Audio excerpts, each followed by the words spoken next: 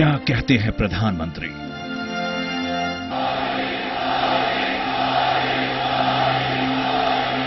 मेरे प्यारे देशवासियों क्या कहते हैं प्रधानमंत्री?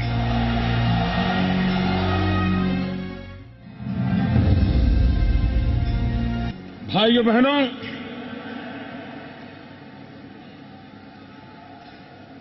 आज विश्व में भारत की अपनी एक गरिमा, एक गौरव, उसका अनुभव आप भी करते होंगे। पूरी दुनिया आज भारत के प्रति बहुत आशा की नज़र से देख रही है। भारत का नाम सुनते ही, इंडिया सुनते ही आपको जिन जिन विदेश में लोगों से मिलते हो, आपको भी महसूस होता है कि नहीं होता है?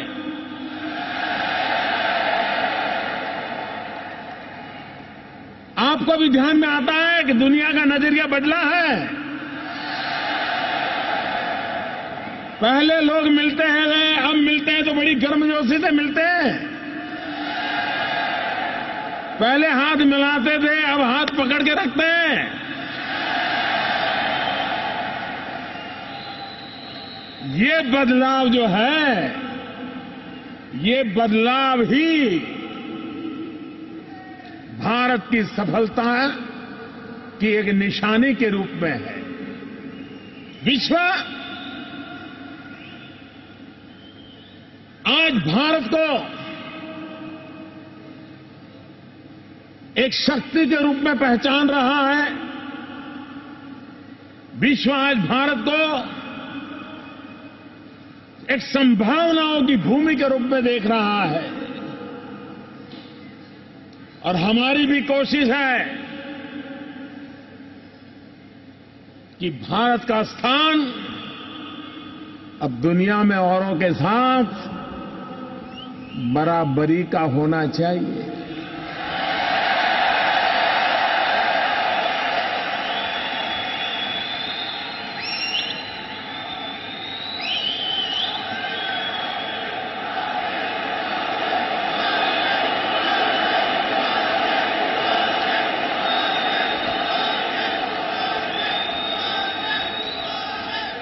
और हम दुनिया से अब मेहरबानी नहीं चाहते।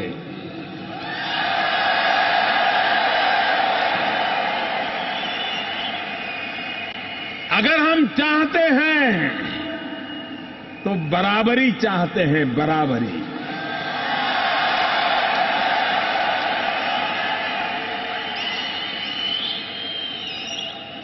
और मैं 18 महीनों के अनुभव से कह सकता हूँ कि आज भारत के साथ जो भी बात करता है, वो बराबरी से बात करता है।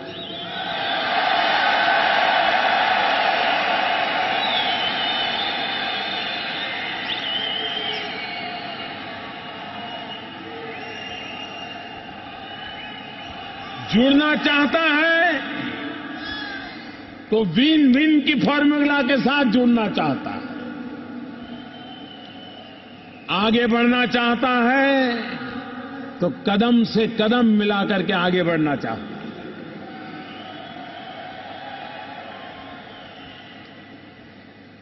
और ये आने वाले उत्तम भविष्य के शुभ संकेत के रूप में मैं देखता हूँ। आज दुनिया में कोई भी इंस्टीट्यूशन होगी चाहे वर्ल्ड बैंक हो, आईएमएफ हो, दुनिया की कोई भी रेटिंग एजेंसी हो, हर कोई एक स्वर से कहता है कि भारत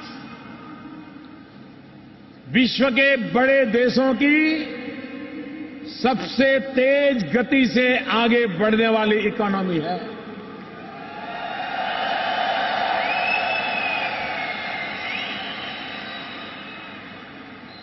बहुत तेज गति से बढ़ने वाली इकोनॉमी है। दुनिया में एक ट्रांसपेरेंसी इंटरनेशनल इस प्रकार का रेटिंग करते हैं कि वो कौन देश है जहाँ भ्रष्टाचार कम है और भ्रष्टाचार कम हो रहा है। हम जानते हैं हमारे देश में ये बदनामी हमको, हमारे सर पे लिखी हुई है। दीमक की तरह भ्रष्टाचार ने हमें तबाह करके रखा हुआ है। लेकिन क्या दीमक की दवाई नहीं है क्या? और दवाई होनी चाहिए नहीं होनी चाहिए? जनता का पैसे का पाई पाई का हिसाब जनता को मिलना चाहिए, नहीं मिलना चाहिए। क्या किसी के घर के भर, घर भरने के लिए जनता का धन होता है क्या? और इसलिए भाइयों बहनों, हमने कदम उठाए उसका परिणाम यह हुआ है कि ट्रांसपेरेंसी इंटरनेशनल नाम की इंस्टीट्यूशन उसने भारत को पहले की स्थिति से 10 पॉइंट्स आगे कर करके हमारे यहाँ भ्रष्टाचार कम हुआ है, उसको सर्टिफिकेट दे दिया है। पहली बार पहली बार हम चाइना से अच्छी स्थिति में आ गए, जो कभी नहीं आते। Ease of doing business ease of doing business में हम दुनिया के आखिरी छोर पर खड़े थे। हमने कुछ कदम उठाए, कुछ निर्णय किए। आज हम बहुत तेज़ी से हमारा नंबर ऊपर की ओर जा रहा है और देखते ही देखते सुफल उसके नज़र आने लगे हैं। मेरा कहने का तात्पर्य यह है, हमें आधुनिक भारत बनाना है। क्लीन इंडिया हो, स्किल इंडिया हो डिजिटल इंडिया हो, इन सभी क्षेत्रों में हम कार्य को नई ऊंचाइयों पर ले जाने की दिशा में एक भरपूर प्रयास कर रहे हैं।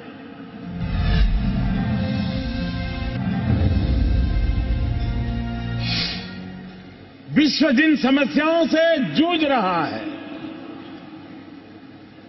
उसमें दो प्रमुख समस्याएँ हैं। सारी दुनिया के जितने भी नेता जब भी मिलते हैं, इन दो बातों की परेशानियों की चर्चा करते ही करते हैं। एक, आतंकवाद। दूसरा, ग्लोबल वार्मिंग। आतंकवाद हो या ग्लोबल वार्मिंग हो सारी मानव जात को बचाने की जिम्मेवारी सभी देशों की है। मानवता में विश्वास करने वाले हर नागरिक की है।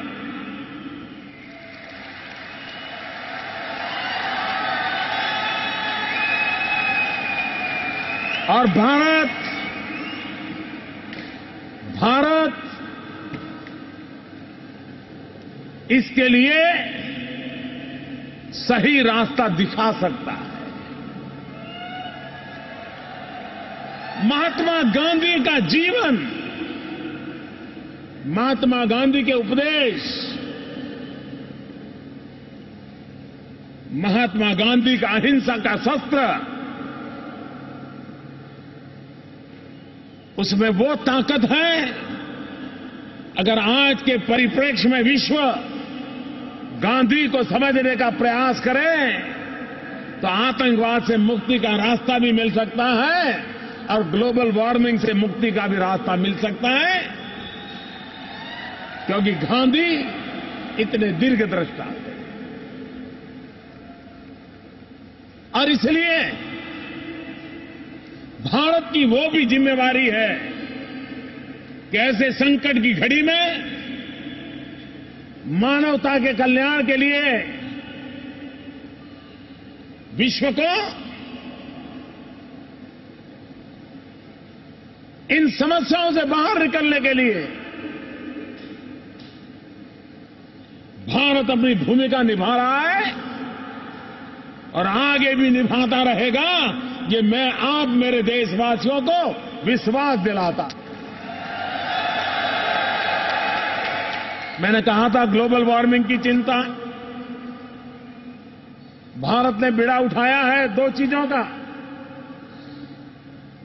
एक, हम दुनिया को सूर्यपुत्र राष्ट्र, वो देश जिनको सूर्य की शक्ति का अधिक लाभ मिलता है, जहाँ गर्मी रहती है। उजाला रहता है। पूरे विश्व के ऐसे देशों का हम एक संगठन करना चाहते हैं। भारत ने बेड़ा उठाया है कि दुनिया में 102 देश ऐसे हैं कि जिनको सहज रूप से सूर्य शक्ति का लाभ मिलता है। वो एक प्रकार से सूर्य पुत्र राष्ट्र है। दुनिया में पेट्रोल वाले देशों का संगठन है जी सेवन है जी ट्वेंटी है, आसियान है, सब कुछ है। लेकिन सूर्य पुत्रों को कभी इकट्ठा किसी ने नहीं किया। हमने बीड़ा उठाया है, दुनिया के सूर्य पुत्रों को इकट्ठा करना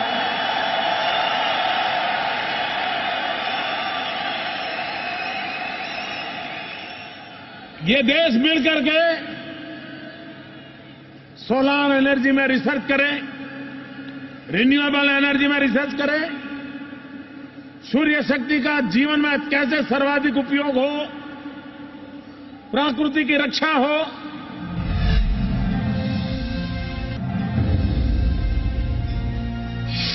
बारह साल में टेंस में बहुत पानी बह चुका है।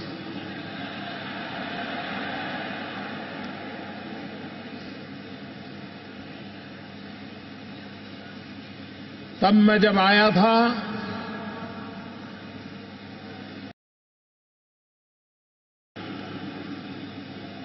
और आज जब आपके बीच में आया हूँ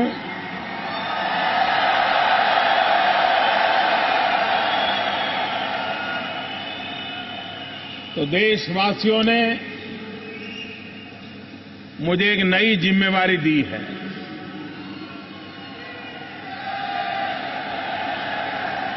और उस नई जिम्मेवारी को पूरा करने के लिए भरपूर कोशिश कर रहा हूँ। और मेरे प्यारे देशवासियों, मैं आपको विश्वास दिलाता हूँ, जो सपने आपने देखे हैं जो सपने हर हिंदुस्तानी ने देखे हैं, वे सपने पूरे करने का सामर्थ्य भारत में है ये मैं भली भांति अनुभव कर रहा हूँ।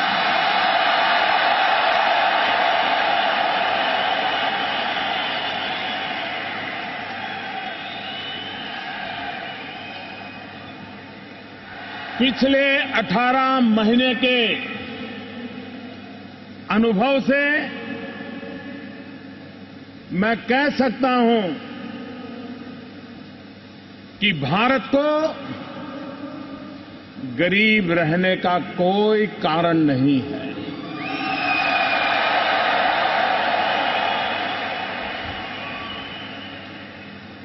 हमें बिना कारण गरीबी को पाल करके रखा है। और पता नहीं क्यों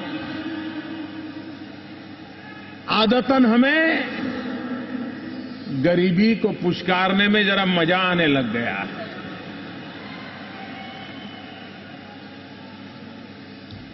भारत सामर्थ्यवान है। सवा सौ करोड़ देशवासी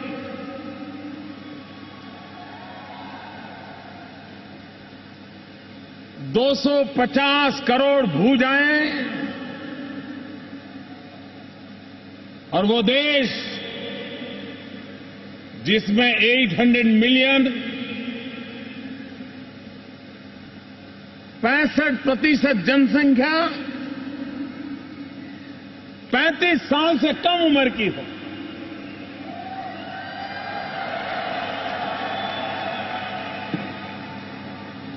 भारत जवानी से लबालब भरा हुआ देश है।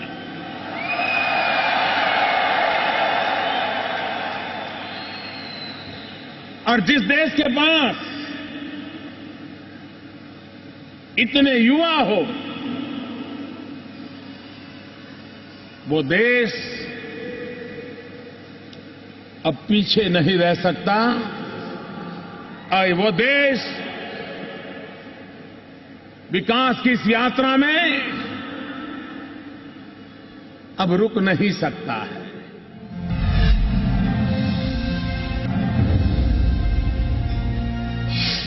भाइयों बहनों, कुछ समय पहले हरियाणा, जहाँ हमारे यहाँ बेटा और बेटी के रेशियो में बहुत बड़ा अंतर है, मैंने एक अभियान चलाया वहाँ। बेटी बचाओ, बेटी पढ़ाओ। शुरुआत मैंने हरियाणा से की। और उसका असर ऐसा था कि एक छोटे से गाँव के एक सरपंच ने सेल्फी विद डॉटर ऐसा एक प्रयोग किया। मेरे ध्यान में आया, मैंने उसकी भी तारीफ़ की और मैं हैरान था सारी दुनिया में हर किसी के मोबाइल का इंटरेस्ट बन गया था, सेल्फी विद डॉटर। एक जन आंदोलन खड़ा हो गया। दुनिया के बड़े बड़े राजनेता हो, शिक्षा जगत के वरिष्ठ लोग हो, आर्थिक जगत के वरिष्ठ लोग हो, हर किसी ने अपनी बेटी के साथ सेल्फी निकाल करके मोबाइल फ़ोन पर सर्कुलेट किया। माँ बेटियों का गौरव बढ़ाने का एक अभियान चल पड़ा। ये है मेरा हिंदुस्तान।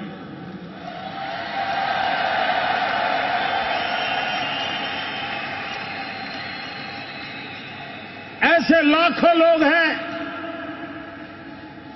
जो आदिवासियों के बीच जाकर के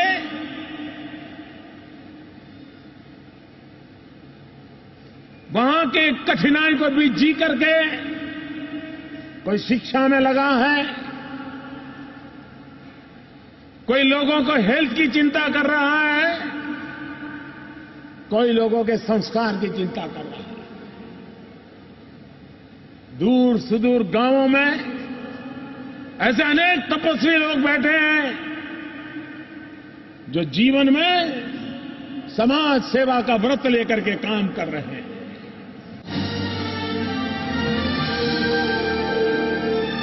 क्या कहते हैं प्रधानमंत्री?